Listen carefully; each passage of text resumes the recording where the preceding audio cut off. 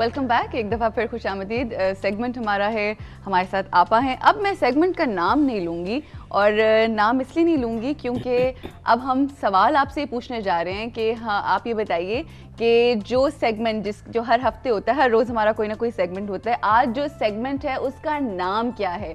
उसका नाम आपने हमें बताना है एसएमएस के थ्रू भी और आ, हमारी कॉल्स आप कॉल्स भी कर सकते हैं और बताइए ताकि आपको हम आ, गिफ्ट हैम्पर दें। आ, और गिफ्ट हैम्पर ये होगा कि आपको होटल वन का केक आप मुल्क के किसी भी हिस्से में होंगे आपको वो पहुँचाया जाएगा। अच्छा आपा कहा जाता है लोग जब शादी करते हैं तो वो समझते हैं कि जी बड़ी आसान चीज़ है कोई मसला ही नहीं शादी का क्या है बस खेल तमाशा है। और लोग गुड्डे गुड्डी का खेल समझते हैं शादी को। तो आप ये बताइए कि ऐसा रवैया क्यों है और वाकई क्या शादी गुड्डे गुड्डी का खेल है? नहीं ऐसा नहीं है। ये गुड्डी गुड्डे का खेल ना कभी था ना कभी है। अगर समझा गया है तो अपनी नादानी से समझा गया है। शादी एक बहुत बड़ा फरीज़ा है। किसी भी मिलत में किसी भी मज़हब में किसी भी मुल्क में जाके देख लें। कि शादी होती है। चलिए हम उसको मज़हब की नुक़ नज़र से देखते हैं ठीक है? और अपने फ़राइज़ के नुक़ नज़र से देखते हैं। लेकिन शादी ज़िंदगी का बहुत बड़ा फरीज़ा ज़िंदगी की बहुत बड़ी खुशी और ज़िंदगी का सबसे बड़ा इम्तहान है।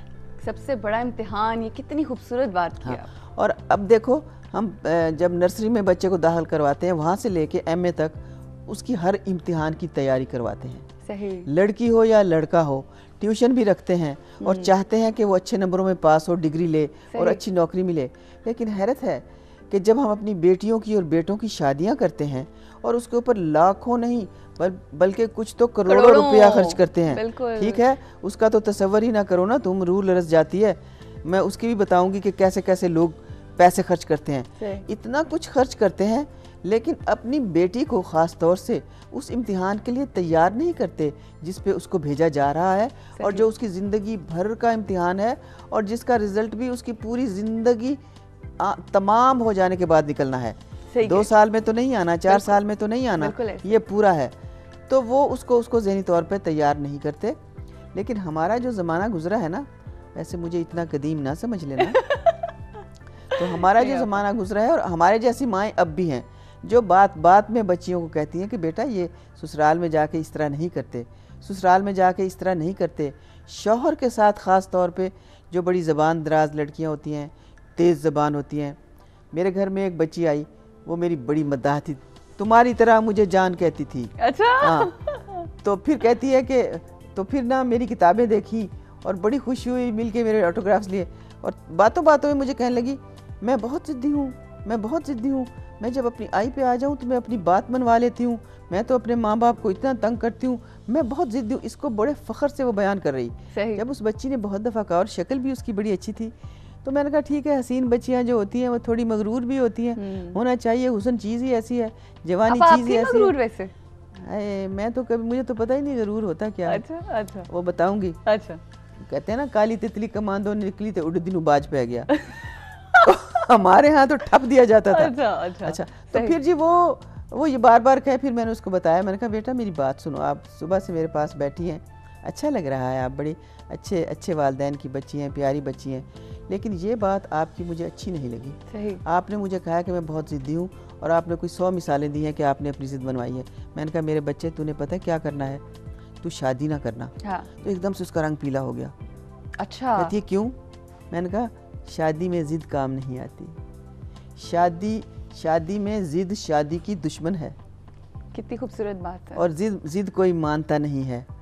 तो एक मुझे और वाक़ याद आ रहा है बड़ा हम्म। प्यारा। हम्म। तुम कहो तो तुम्हें सुनो एक दफ़ा मैं ओस्लो गई हुई थी। आपा इससे पहले कि आप ये वाक्य सुना है हमारे साथ बहुत देर से कुहाट से कॉल आई हुई है। एक सहेली की अस्सलाम वालेकुम। वालेकुम अस्सलाम मैं आपकी बातें बड़ी शौक से भी सुन रही थी। Thank you Shazia. और मैं उरूज बाजी आपका प्रोग्राम मुझे बहुत पसंद है। बहुत लेकिन ये है ना कि आपका वो स्टाइल नहीं है जो और चैनलों पे वो बहुत ऐसे होता है ना। आप बहुत अच्छी हैं लेकिन बड़े नरम दिल से और बड़े प्यार से बात करती हैं ना। थैंक यू सो मच आप खुद इतने प्यार से बात कर रही हैं कि मेरा दिल चाह रहा है मैं वारी वारी जाऊँ। मैं आपके ऊपर वारी वारी क्यों कि बस मुझे ऐसे हम लोगों को ऐसे बहुत पसंद है ना। थैंक यू क्या तो, अच्छा पहले तो मुझे मेरी सहेली ये बताओ कि सवाल पूछा गया है कि खुश नसीबी क्या है? आपके लिए खुश नसीबी क्या है? अभी. तो मैं पढ़ रही हूँ खुश नसीबी ये होती है ना कि वाले के घर में हो ना तो वो उनकी दुआएँ चाहिए। और हम्म। आपा वाली बात जब इंसान की शादी हो जाती है तो फिर उस घर में जाते हैं तो फिर उनकी खिदमत करना उनकी दुआएँ चाहिए। सबसे ज़्यादा अपने आप को खुश नसीब कब महसूस किया आपने ज़िंदगी में? अभी तो मैं पढ़ रही हूँ ना। अच्छा अभी पढ़ रही हैं जी अच्छा। हाँ। बस तो- मुझे आपसे ये कहना है खैर आपका जवाब लिख लिया आपा ने मगर मुझे आपसे ये कहना है कि ज़िंदगी का को, कोई भी लम्हा हो कोई भी मरहला हो कोई भी वक्त हो बस खुश रहो और अपने नसीब पर खुश रहो। मेरा ख्याल है ये खुश नसीबी है। ये आपा इस पे पता नहीं एग्री करती है कि नहीं करती। बट मुझे लगता है कि यही है। तो और कुछ कहोगे दिल की अपनी? बस दिल की ये है कि मुझे आपका सूट बहुत पसंद है। थैंक यू सो मच शुक्रिया बहुत बहुत शुक्रिया कॉल करने का। Have an A plus day और एक और हमारे साथ कॉलर हैं जिन्होंने हमें जवाब देना है इसी सवाल का। बहुत सारी कॉल्स आ रही हैं आपा इस सवाल के हाँ लिए। ज़रूर ज़रूर। जी अस्सलाम वालेकुम। अस्सलाम वालेकुम। जी क्या अ, मेरी कौन सी सहेली है? नूर बात कर रही हूँ अहमदाबाद से। नूर एबटाबाद से। कैसी हो नूर? क्या जवाब है आपके पास? आज सेगमेंट का नाम पूछा आपने? गुड्डा गुड्डी का खेल। गुड। होटल वन का केक आपका हुआ। कहाँ पे? एबटाबाद एबटाबाद पहुंचेगा जी। और चीज़ कहना चाहूँगी। हाँ।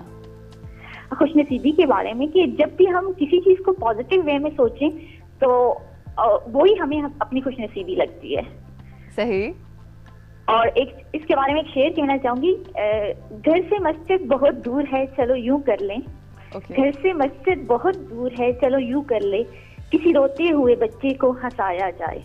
वाह, बहुत अच्छा शेर है। बहुत अच्छे बहुत अच्छा। बहुत खूबसूरत। वेरी नाइस नूर आपने तो अपनी बातों का नूर फैला दिया हर तरफ़। शुक्रिया। थैंक यू बहुत अच्छी लगती है मुझे। थैंक यू बहुत। अच्छा। पता है अरूज तुम क्या कर रही हो? ये जो बच्चियाँ कॉल कर रही हैं ना हाँ जी। ये एक ख़ास क्लास से ताल्लुक़ रखती हैं। सही कह रही हैं। ये वो बच्चियाँ हैं जो शर्म हया में पल रही हैं घर की चार दीवारी में रहती हैं वालदेन की ताबेदार हैं और टिपिकल हमारी मशरकी लड़कियाँ हैं। तुम उनकी बात सुन रही हो तुम उनके करीब जा रही हो वो तुम्हारी सहेलियाँ बन रही हैं। तुम्हें पता है तुम कितना अच्छा काम कर रही हो? हाँ, तुम इनमें रोशनी फैला रही हो।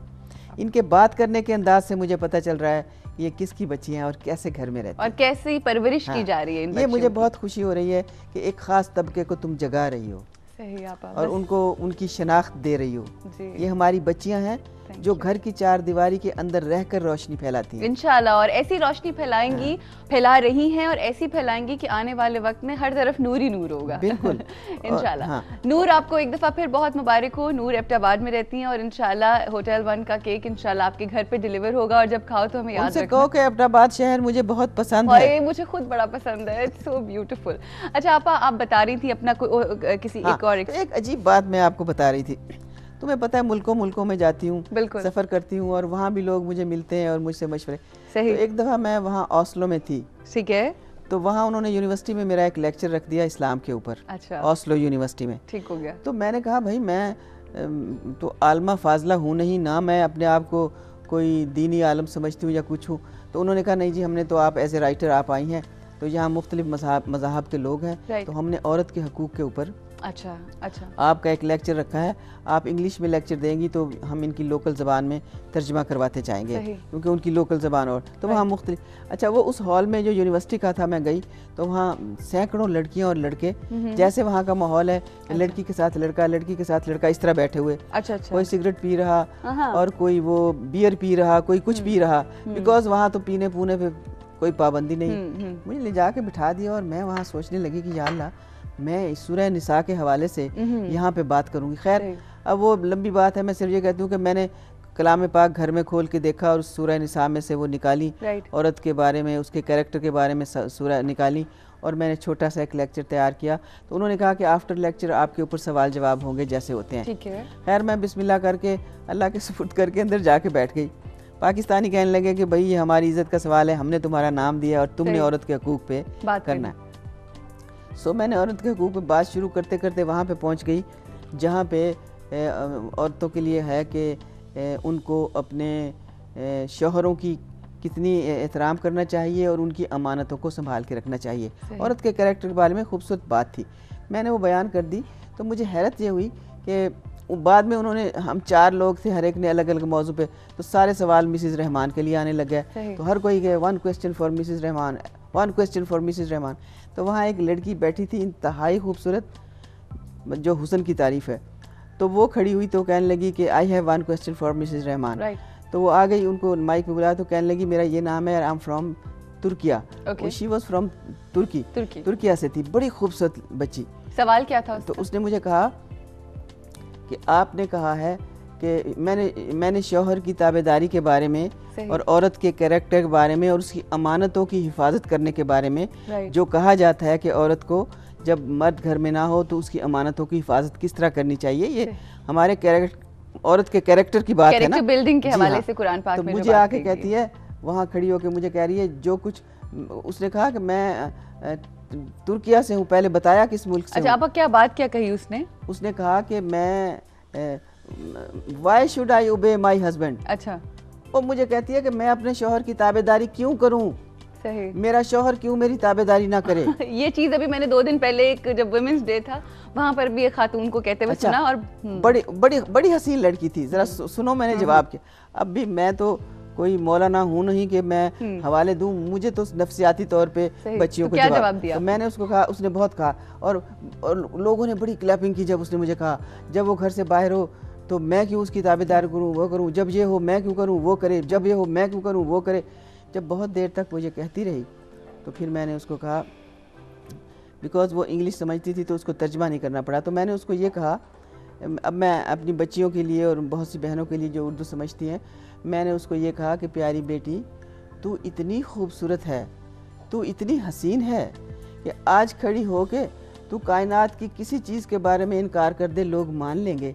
क्योंकि मैंने देखा था तेरी मेज़ पे तेरे चाहने वाले बहुत बैठे थे। और इस उम्र में बच्चियाँ यही सोचती हैं जो तूने सोचा है पर मेरा एक मशवरा है तेरे लिए। कहने लगी क्या?